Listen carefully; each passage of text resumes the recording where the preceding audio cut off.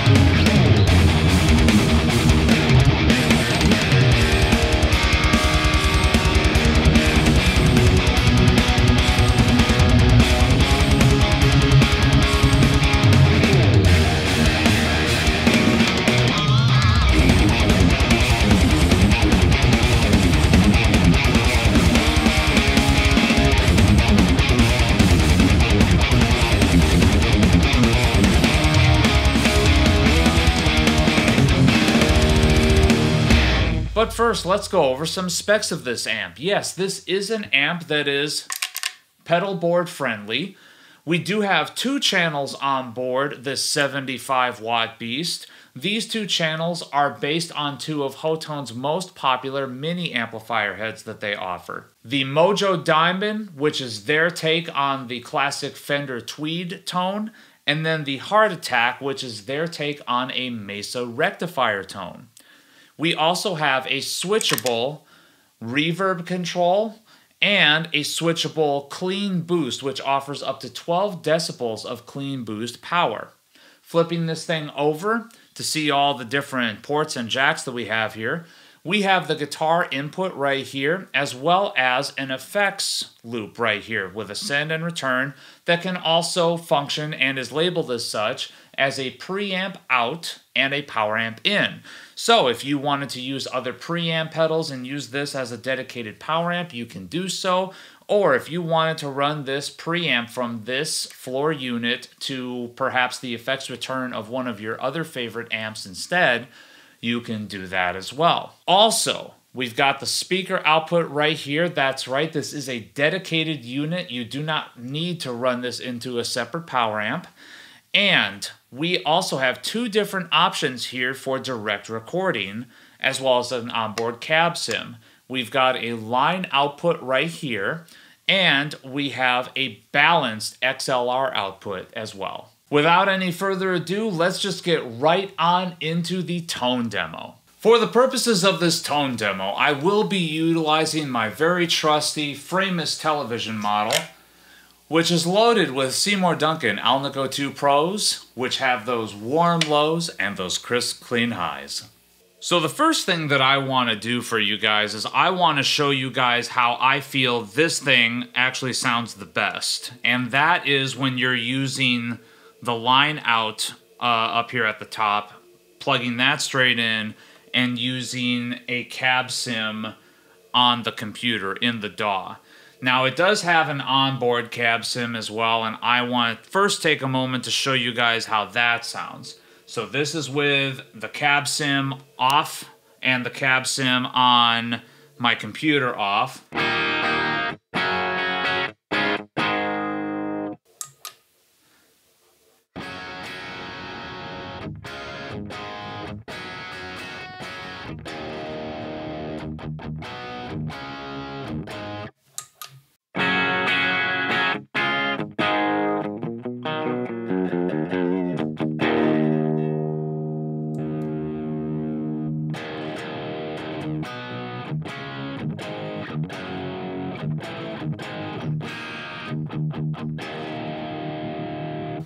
Already, you guys are probably noticing there is actually a serious volume difference between the two channels.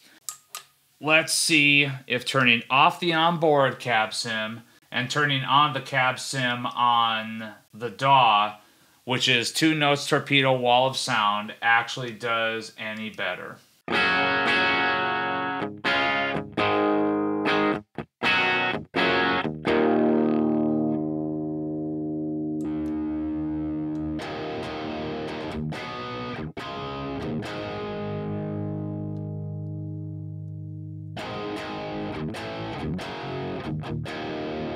Not so much. There's still an extremely noticeable volume difference. So, with that, let's now just get into the actual tone demo, but I just wanted to show you guys that first and foremost so that you could see. So, clean channel, let's bump up the level a little bit.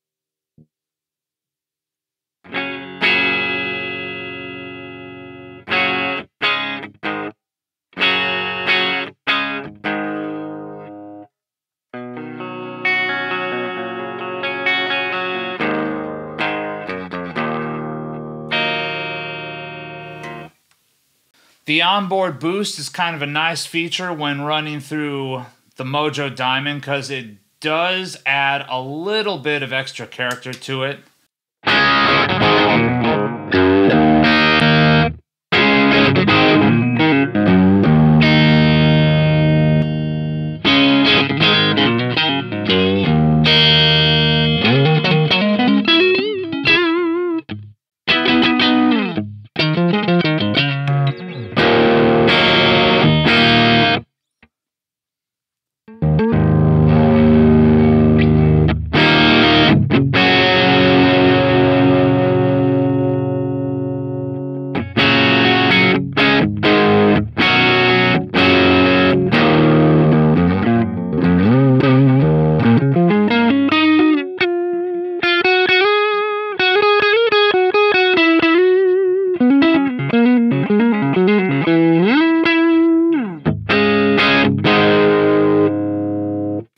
Then just for gets and shiggles, the onboard reverb.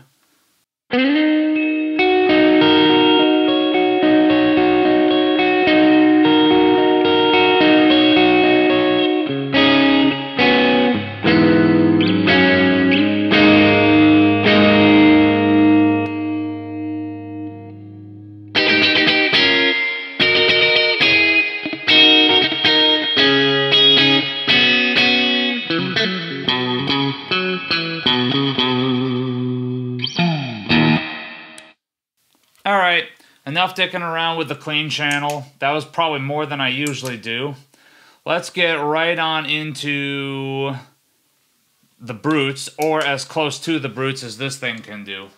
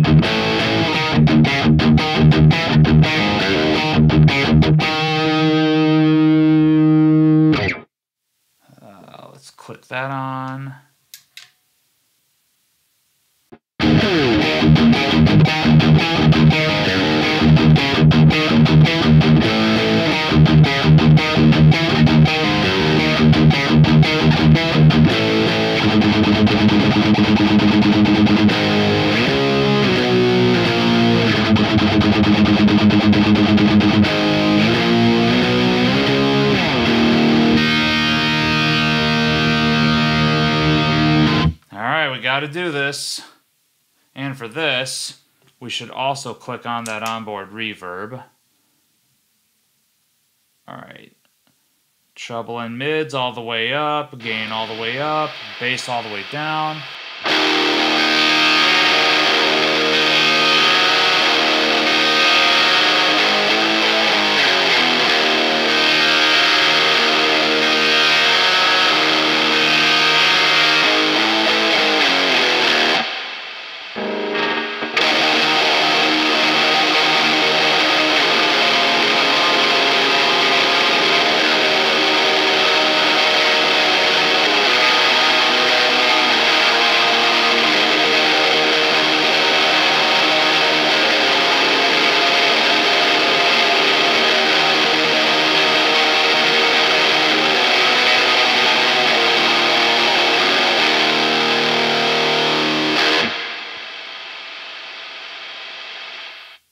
Right, guys, what do you think? Does it pass the black metal test? Definitely adds a lot of extra noise on there when you've got the boost on and the gain dimed up pretty hard there. Let's see. Bring that reverb down to a manageable level.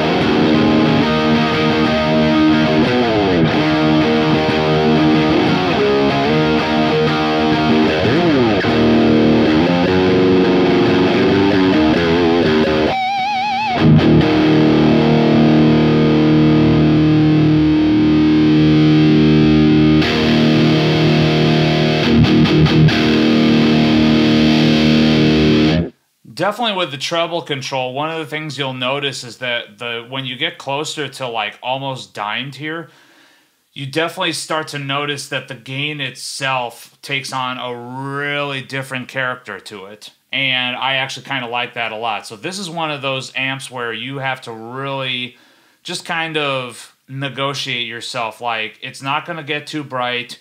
Crank up the treble if you want to get anything close to extreme with this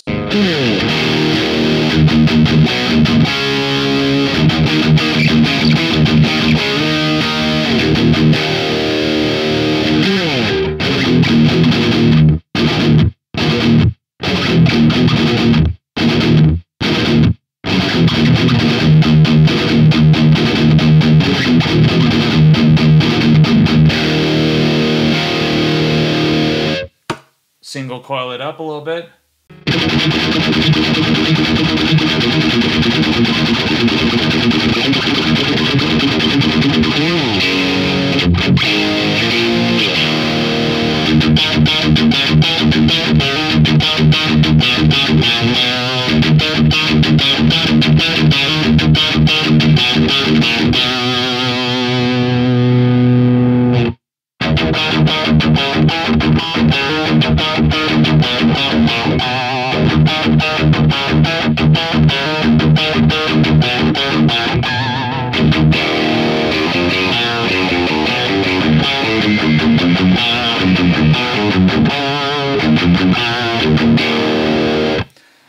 To show you this and I wanted to stay on the single coil because I really feel like this is not at all capturing that mesa tone that it's advertised as having.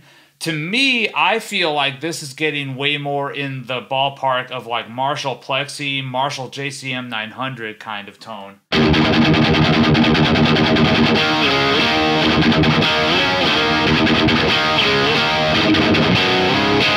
We'll be right back.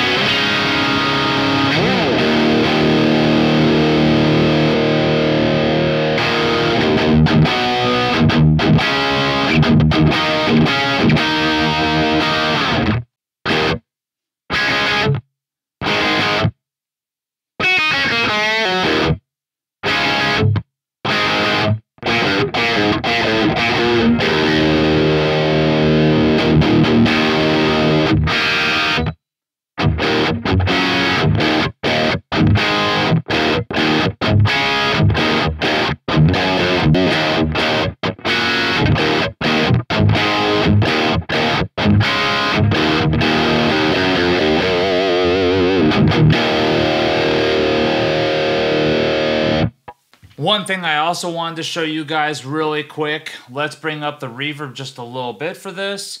And we've got the onboard boost engaged. Let's fuss with the tone just a little bit, pump up a little bit more of the mids, a little bit more of the bass and treble. So I'm hooking up my Reverb Compact, which is my seven string, and this thing is tuned to B flat standard because I wanted to show you this.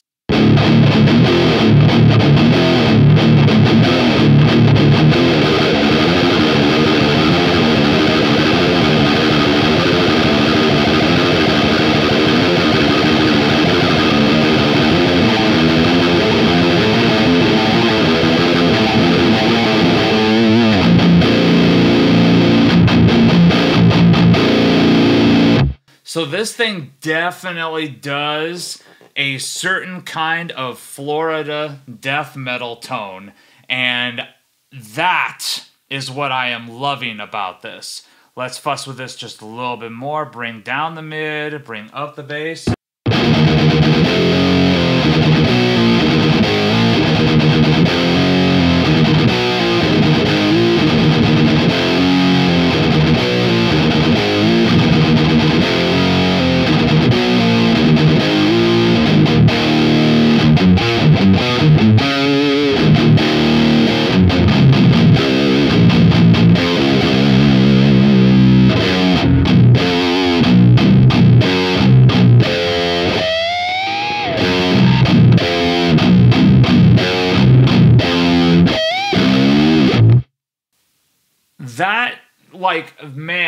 Is getting some sort of swampy sludgy florida death metal tone out of that and god damn i love that it's doing that because admittedly there's a lot of tones on here i'm not really liking but once you find something that this thing does exceptionally well that's all you want to play is just that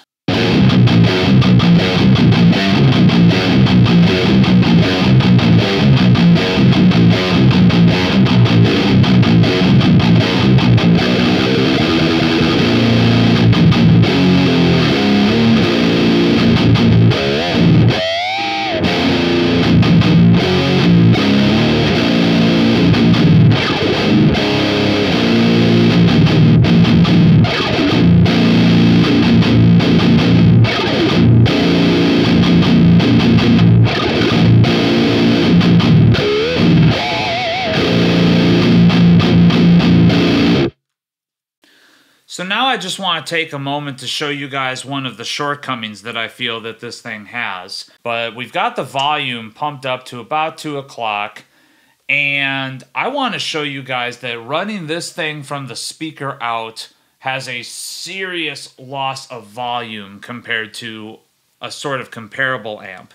So what you're hearing right now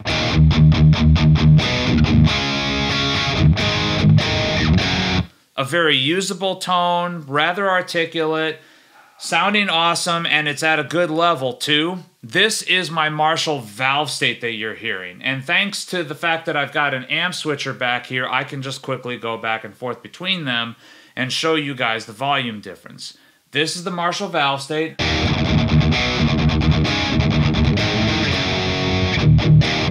This is the Hotone.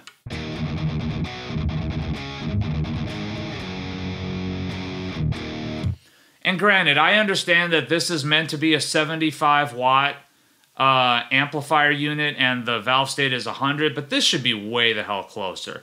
Just for the sake of argument, let's crank the volume on the high gain channel. Let's crank the boost and put that on too.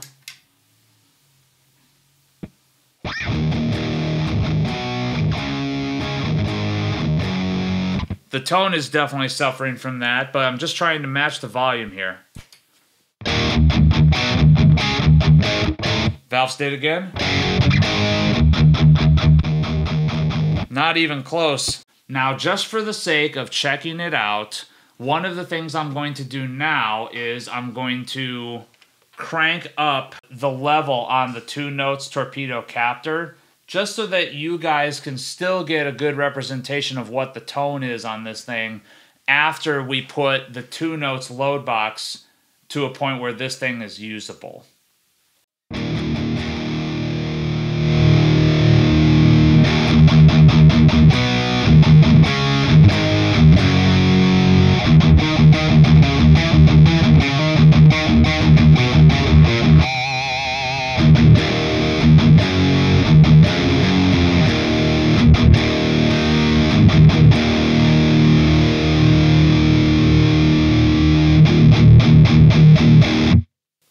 As you can hear, the low end has a much different character on this when we start to go through the speaker output. So we have to really, really dial that back to sort of tame it a little bit.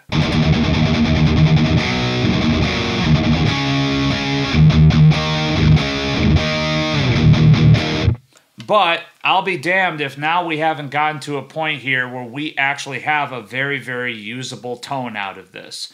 Is it the greatest tone? No, but for about a $300 ish unit, that well $300 depending on where you buy it from. It can be anywhere from two to $300 and made in china meant to be something like a budget alternative. All told that's not a bad tone at all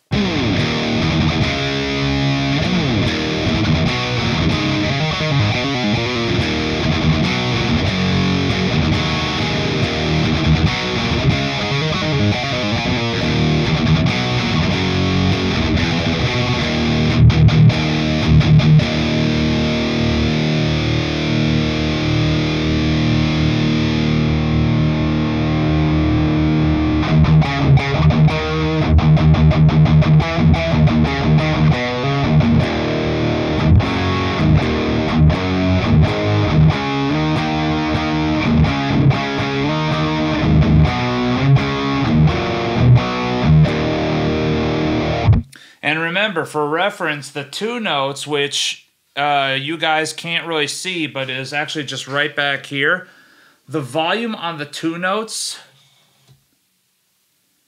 is literally cranked all the way up right now. And this is the volume that we're getting.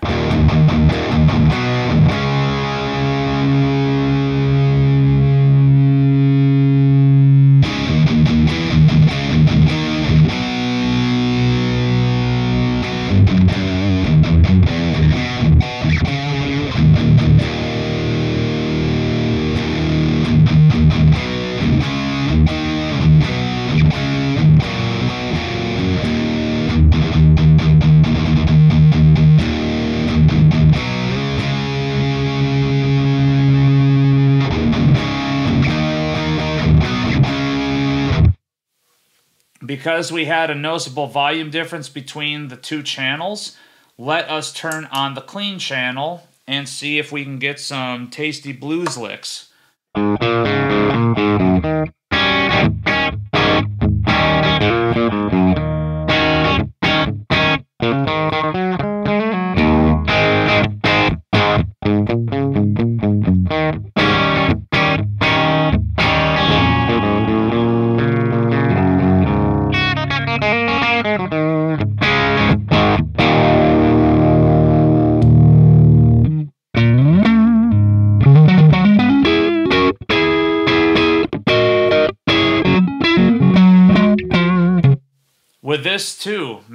We gotta bring that bass control back uh, quite a bit.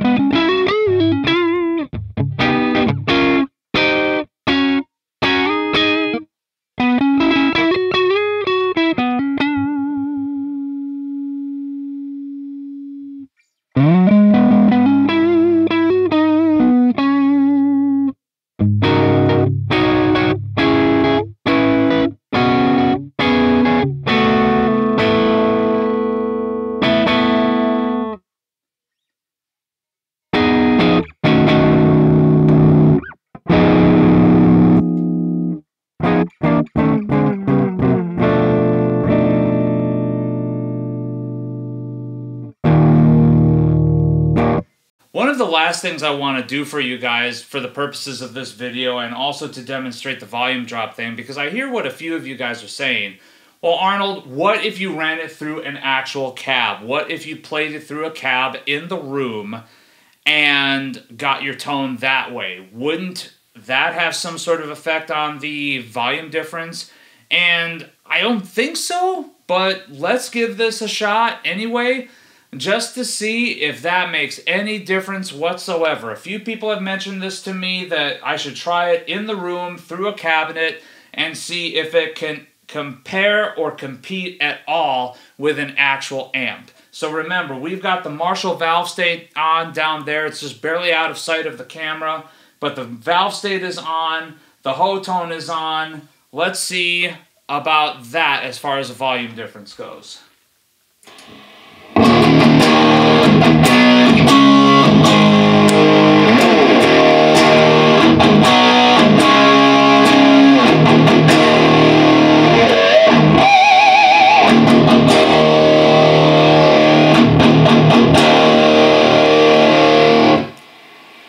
Would be the Hotone. And now,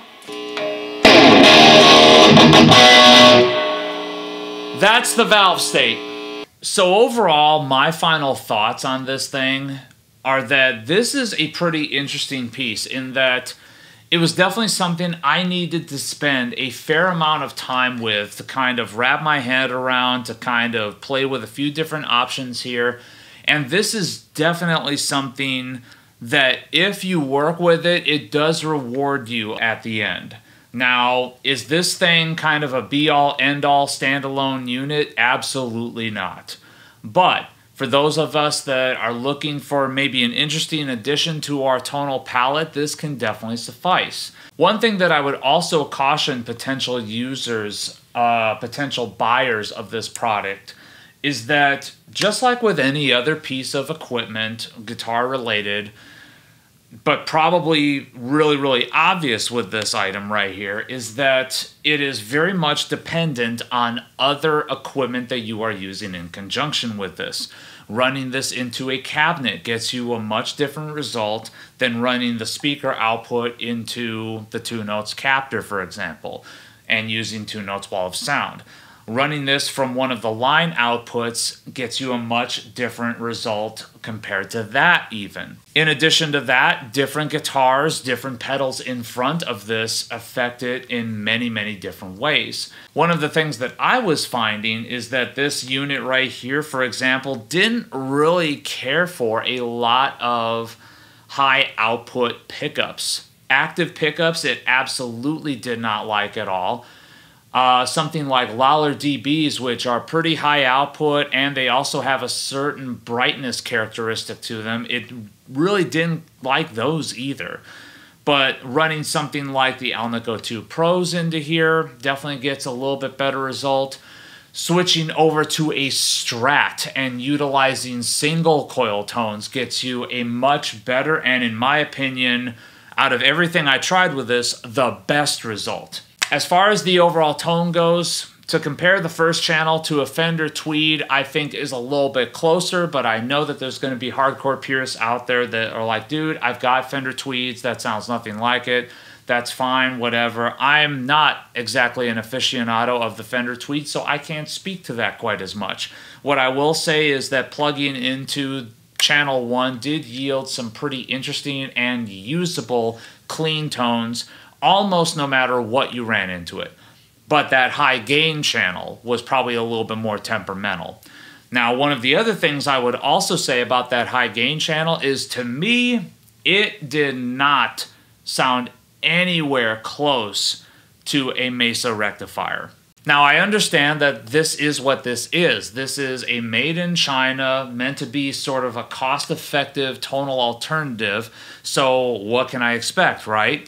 Well, I wanted it to have a little bit closer tone to a Mesa rectifier as advertised than this. That said, though, I definitely found something interesting plugging into this. To me, this is more of kind of a budget Marshall JCM 900 4100 that to me was a way closer tonal representation.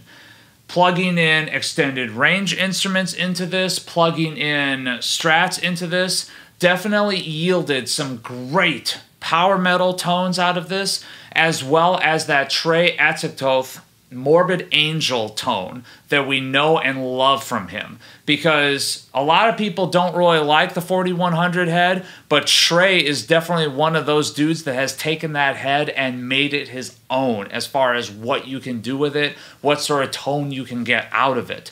And plugging in a 7 string tuned to B flat standard got me some great results out of this in all honesty. So I mean, yeah, could you compare it to a Mesa rectifier like advertised? No. But could you definitely compare it to that Marshall amp I mentioned earlier that has a sort of cultish following to it?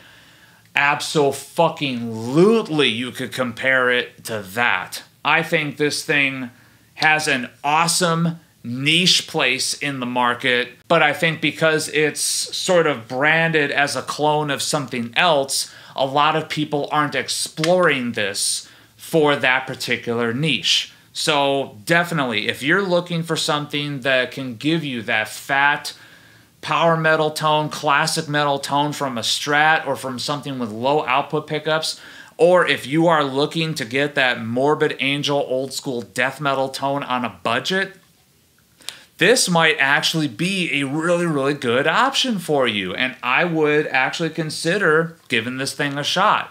Now, I know what you're thinking. This time in the video, we're not seeing what we used to see many, many moons ago before Arnold decided to go down this path of weight loss. Well, I've got good news for you guys. Today is a cheat day, so I'm able to enjoy a few things that I'm normally not allowed on my diet including a beer! Okay, from modern times, this is Critical Band, which is a hazy tropical IPA, uh, or at least so it says. Where's the ABV on this? Okay, we have a 60 for bitterness units. Alcohol is 6.7. Alcohol by volume Yes, this is an IPA. I've actually started to develop a little bit of a palate for these. Um, it's still not my favorite thing in the world. I'm still much more of an ale and stout guy, but these IPAs are finally starting to grow on me a little bit. Pours an extremely rich golden color with a white head very very hazy in terms of how it looks in the glass. It's definitely not crystal clear.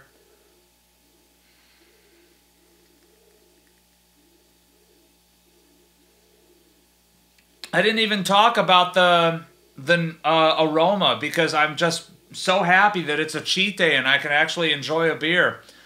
So as far as aroma goes, not really a whole lot going on there. It definitely smells rather fresh. You definitely get a little bit of a beer sort of fizzy note in the aroma, but it is what it is. You know, it's pretty basic as far as the aroma goes. In terms of the flavor, though, extremely citrusy IPA. Mm. Definitely does have that hoppy bitterness to it, but I'm getting a lot of grapefruit in that. Like a lot, a lot of grapefruit. And I kind of really, really like that. This is the kind of IPA that I can actually get into. Something that is juicier and hazier. Not necessarily something that is just hoppy and dry and bitter for the sake of it. But this is this is actually quite flavorful. I, I kind of enjoy this quite a bit. So guys, thank you so much for tuning in. Remember to like this video, subscribe to this channel. There is tons more metal guitar oriented content to come. Remember to also find me all over social media. The screen name is always the same. Arnold Plays Guitar on Facebook, on twitch.tv, on Instagram, etc. I'm always posting all sorts of different stuff there, whether it be guitar related, whether it be personal life related. And also remember, take what you do seriously, but do not take yourself too seriously.